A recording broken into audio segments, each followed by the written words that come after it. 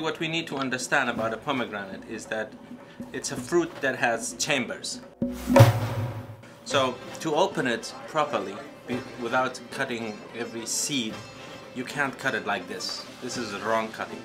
So what you need is to scalp it like a, an, an Indian way of, you know, a human being. You scalp it, it's at the edge, the top. Alright, so you remove the cover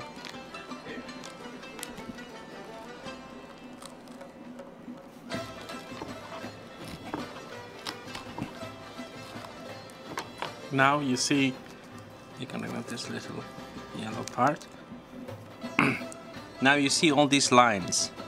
One two three four five six and it varies by the size of each pomegranate. So you slice it a little bit here cut it on each line downward all the way to the bottom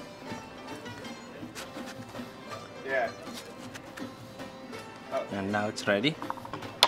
So what you do is you press it from the center.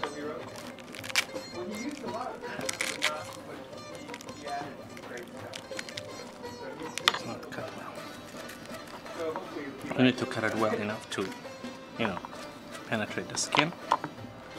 Then you pull it out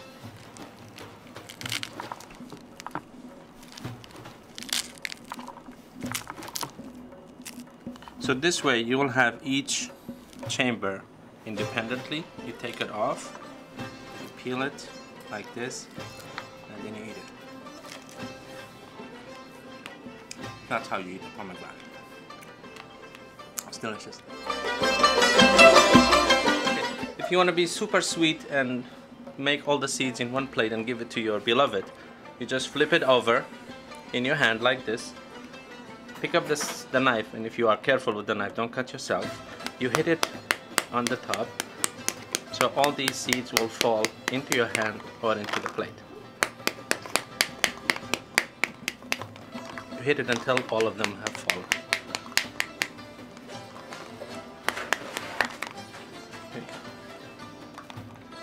That's the most efficient way